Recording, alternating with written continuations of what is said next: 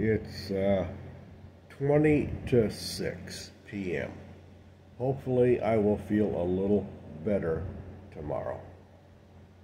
But I want to tell you there are two axioms that you can live by in investing.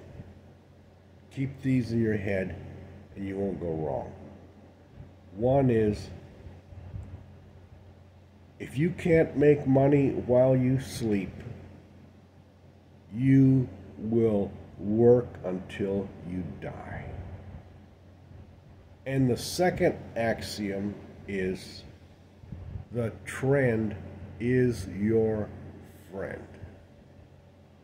I've made money over decades with the last one.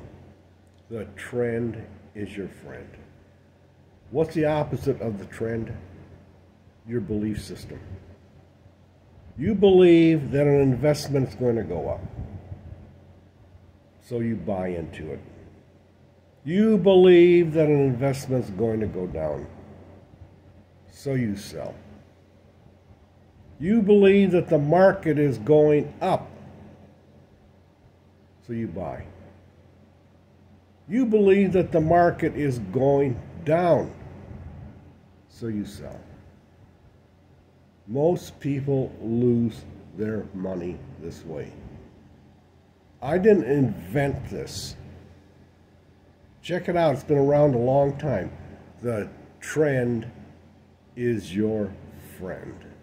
And that's the only way I invest. If the trend is up, I'm in. If the trend is down, I'm out.